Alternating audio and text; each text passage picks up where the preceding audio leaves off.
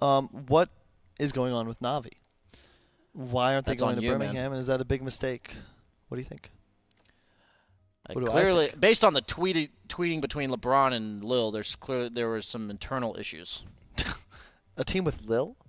Internal issues. Uh, blasphemy. Name a more iconic duo. Uh, I'm just uh. kidding. Lil's a great guy and a great teammate. Just never have him on your team. Um,